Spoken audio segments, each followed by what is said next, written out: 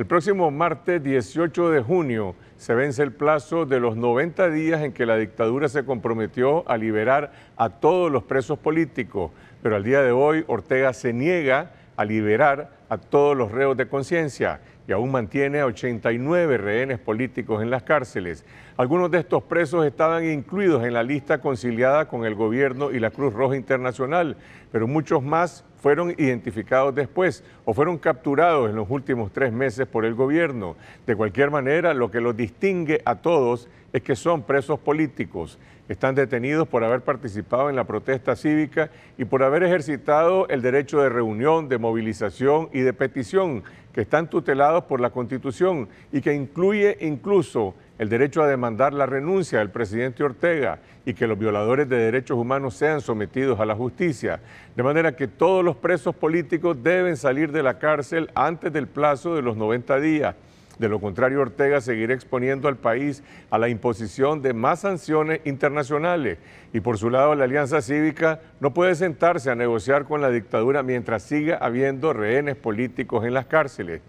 El gobierno ya está incumpliendo el acuerdo de restituir todos los derechos democráticos y suspender el estado de sitio de facto. Es verdad, por ejemplo, que se liberó a los periodistas Miguel Mora y Lucía Pinedo Ubao, y eso es un paso en la dirección de restituir la libertad de prensa, pero ni ellos ni los demás periodistas independientes del país podemos ejercer el periodismo en libertad.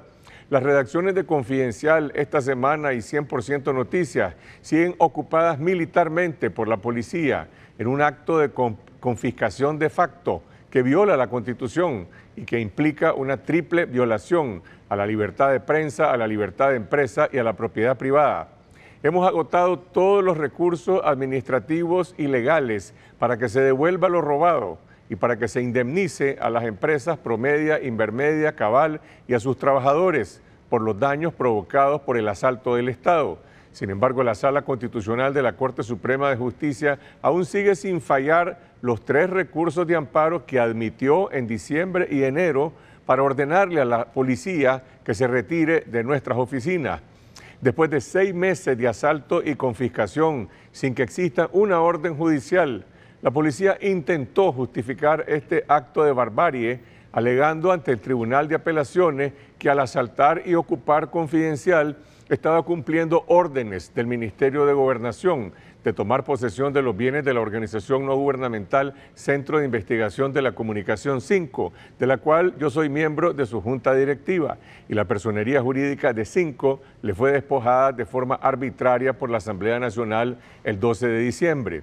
Pero al margen de que 5 ha introducido su propio recurso por inconstitucionalidad, ante la Corte Suprema por el despojo de su personería jurídica, la agresión del Estado contra Confidencial esta semana y la empresa de consultoría ambiental Cabal no puede justificarse al amparo de la cancelación arbitraria de la personería de cinco, porque no existe una relación vinculante entre ambas instituciones.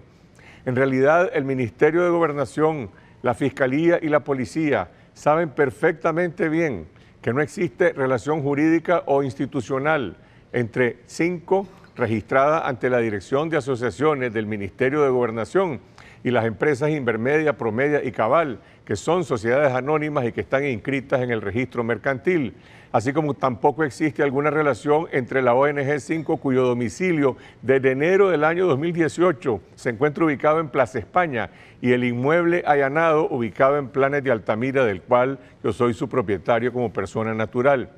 De manera que si la Policía Nacional asaltó, secuestró, y confiscó confidencial esta semana y cabal el 13 de diciembre, es porque recibió una orden de su jefe supremo en el Carmen, una orden política punitiva, sin ningún pretexto ni justificación para intentar aplastar a la prensa independiente. Seis meses después, aquí estamos. Nunca pudieron callarnos y desde la mañana del 14 de diciembre hemos seguido informando la verdad y haciendo el periodismo de calidad que se merecen los ciudadanos, desafiando la persecución y la censura en Nicaragua y desde el exilio. Y ahora que Miguel Mora y Lucía Pineda han sido liberados y ya no puede el gobierno seguir criminalizando el ejercicio del periodismo con un juicio político, demandamos que cese la persecución contra todos los periodistas y que el Estado suspenda los actos confiscatorios contra Confidencial y 100% Noticias, que devuelva todo lo robado y que indemnice a los afectados por los daños morales y económicos que han provocado.